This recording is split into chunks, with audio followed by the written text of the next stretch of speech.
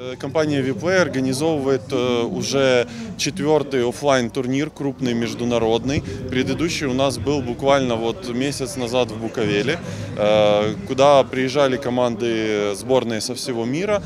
Сейчас у нас также выступают команды не только из СНГ, но и из Европы, Америки и даже из Азии. Поэтому можно сказать, что действительно мероприятие не только в нем участвуют мировые команды, но и смотрят его по всему миру. Трансляция идет на трех языках, на э, украинском, на русском и на английском. И транслируется в интернет, естественно, через множество каналов. И даже, если мне память не изменяет, э, один ТВ-канал спортивный тоже у нас забирает эту трансляцию. Э, Экспорт, да. Э, Вот. Э, Главный приз составляет 300 тысяч долларов, что Vplay Merchandise – это компания, э, собственно, из холдинга Vplay, которая мы занимается да, э, пошивом мягких игрушек э, по играм и также э, мягких игрушек, связанных с организациями, которые присутствуют на киберспортивной сцене, такие как Virtus.pro и Na'Vi. Вот, э, Є? Шиєді?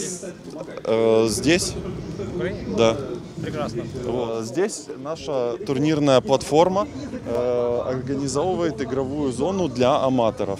У нас здесь нон-стоп на протяжении всего ивента идут турниры для ребят, которые хотят попробовать себя в киберспорте. То есть такое настоящее мини-соревнование. Здесь и в игре один на один каждый может проявить свои личные умения, показать класс.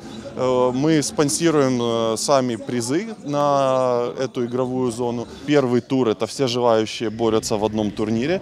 Потом чемпион попадает в финал чемпионов. И чемпион... Да, вот. И кто-то из этих ребят сейчас э, выиграет э, эту мышку вот буквально через сколько? Сколько?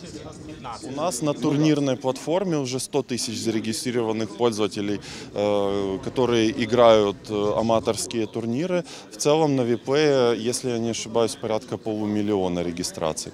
Организовать на стадионе не проблема. Собрать зрителей достаточно, вот это уже вопрос. В Украине мы физически пока что, к сожалению, не наберем столько людей. Да? Вот, э, когда киберспорт станет таким же популярным, как тот же футбол, тогда без вопросов. Пока что, да, мы сможем собрать несколько секторов, там придет э, пару тысяч человек, возможно, но э, для того, чтобы выйти на международный уровень, когда в Украину еще и начнут приезжать туристы из других стран, вот как было на Евро, скажем, да, это, кстати, вполне реально. Просто нужно выйти э, на э, тот уровень, который э, возможен только с очень хорошим опытом, с хорошим бэкграундом у компании-организатора. И когда ей доверят такое мероприятие, потому что разработчик игры, э, издатель точнее, э, он регулирует э, то, кому позволено проводить эти мероприятия. Выглядит для зрителей, как будто бы реально в каком-то футуристическом городе проходит это соревнование.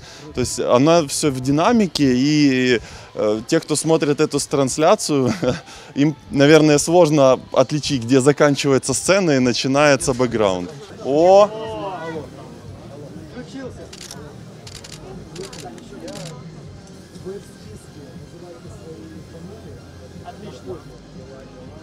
Давайте сделаем фото, Алексей, давай.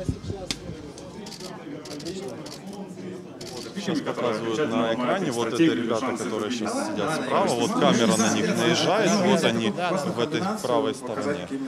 Вот, они сейчас выбирают героев, которыми они будут играть, и после этого будет начинаться непосредственно сама игра.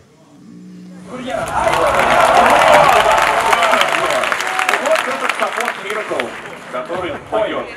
самом деле разобрали.